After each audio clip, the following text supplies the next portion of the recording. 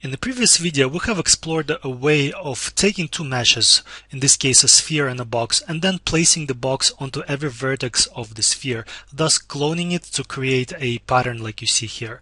And I have just loaded the, the scene that we have saved in the previous video, and I'm going to continue working on it. And this time I want to complicate things a little bit and introduce a way of placing the box onto the sphere randomly as opposed to this regular vertex pattern. And also this will be a good opportunity for me to introduce scripting and just randomization in general. So I'm gonna open our plugin again and we can see that we have a type value which is taking our mesh and using it to extract the vertex positions and then we feed the vertex positions into our graph and the graph and combine node here basically takes these vertex positions and they clone this box on top of every one of these vertices and then combine all of these results into one mesh which we produce as the result of our modifier here. So in this tutorial to randomize things I'm going to create a new array which is going to be an array of random positions which I'll, then I will fit into this graph as opposed to vertex positions. So first thing I'm going to do is to create a series node which will basically create an array of uh, which will enumerate our, our polygons on our, our mesh. And to do this, I'm going to first I need to extract the number of polygons we have in our mesh. And uh, to do this, I'm going to drag out the polygons outputs. And basically, this produces a type value for the array node. And in this type value, I can now go and get the count value. And the count value will tell us how many polygons there are in this array. The count value I can plug directly into the length parameter of this series node. And I'm going to be incrementing by one. So I get a nice 0, 1, 2, 3, 4, 5, and so on until the length of our polygons. In addition to this, I'm going to create something called a random series node.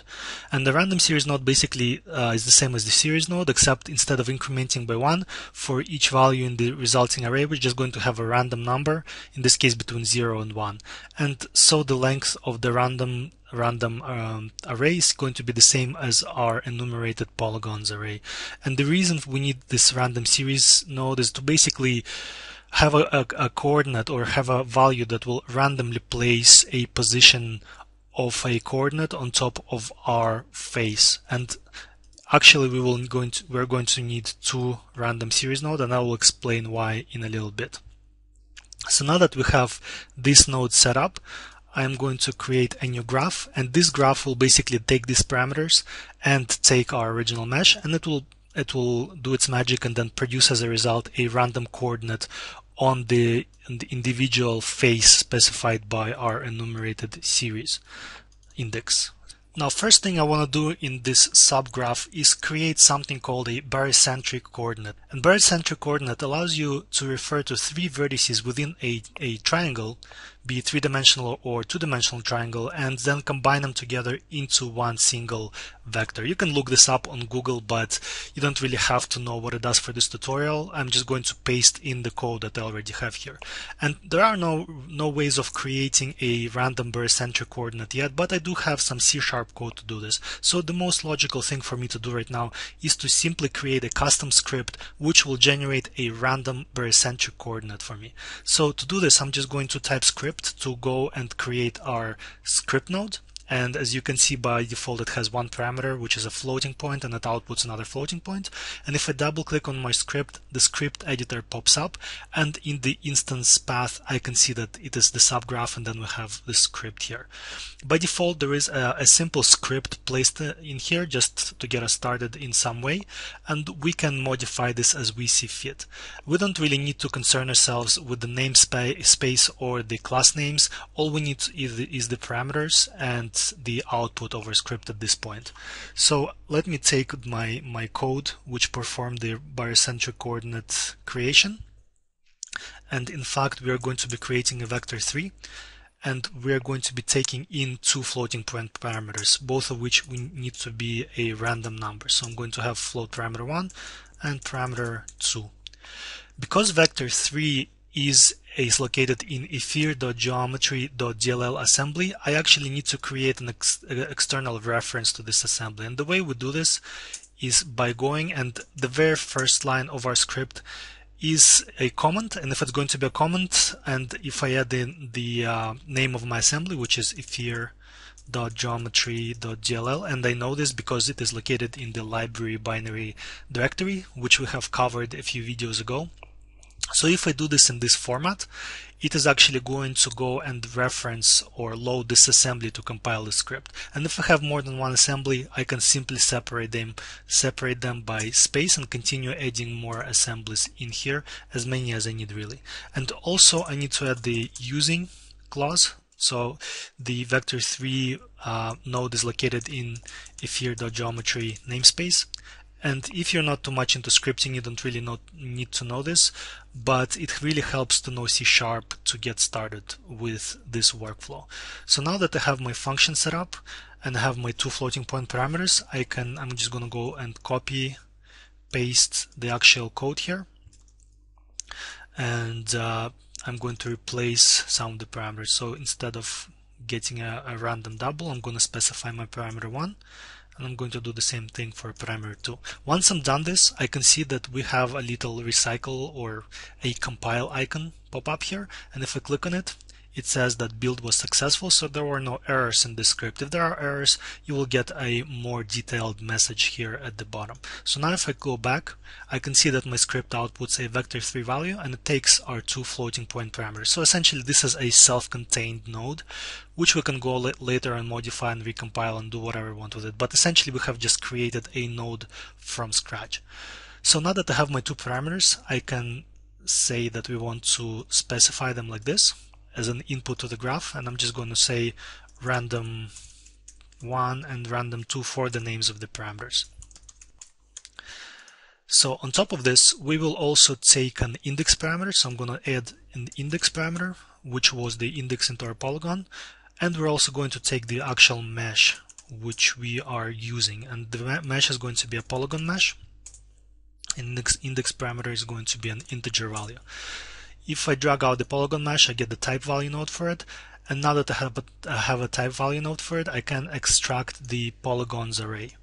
And again, the polygons array presents us with a type value for the actual array, and it has a parameter called getItem. And this getItem is essentially a function which allows you to specify an index inside the array, and it's going to produce you the, the item or element at the specific index inside this array.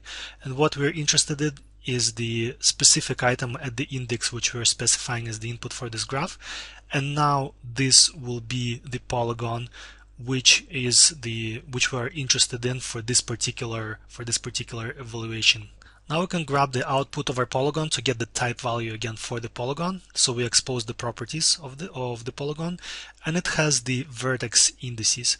So we can drag this out and these are not actual vertices, these are just indices into the vertex array of the mesh.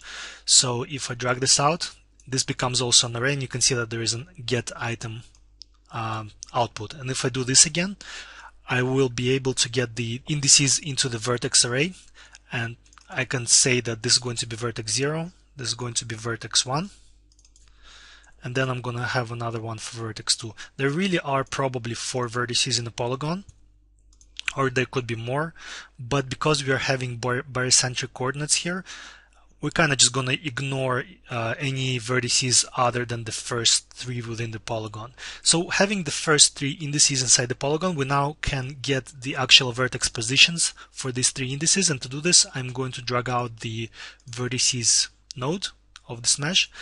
And I am also going to do the same step as we did for the polygons, but this time for the vertices, which means that I'm going to get item and I'm going to pipe in my index number one here. This will produce a vector3 value and I'm going to do the same thing for the other two vertices. So we're extracting one vertex of the, at this index, one vertex at this index, and one vertex at the last index. So now we have three vertices which are part of the polygon specified as the index into our graph. And we also have a barycentric coordinate. So to complete the, the mission of this graph, I just need to combine these three vertices using this barycentric coordinate. And I also have a script for that. So I'm going to use our script node, custom script node again to create my, my function to do that.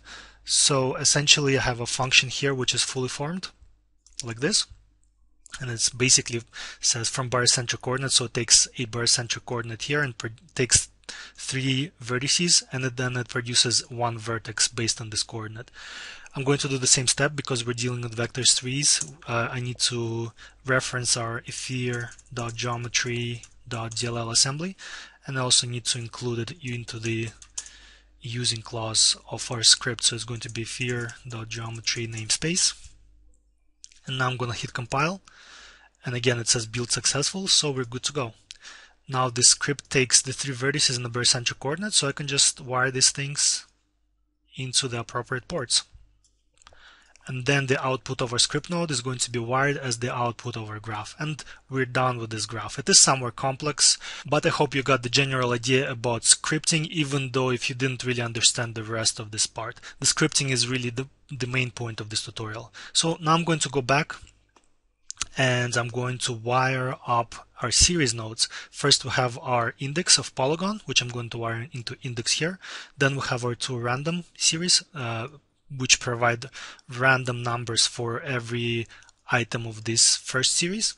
And then we also have our source mesh input here. So the resulting output of this graph is an array of vector 3's and these are actually our positions. So I'm going to wire this into the position input of our second graph and there is an error and I have just remembered that I have entered something wrong here. So it should be 0, 1 and 2 and not 3 because we're using 0 based indices. So uh, we are getting vertices 0, 1 and 2 not 0, 1 and 3. So now that I have this straightened out we get our properly randomized positions for our boxes. And if I resize, you can see that they're now indeed random. And this is the end of this tutorial.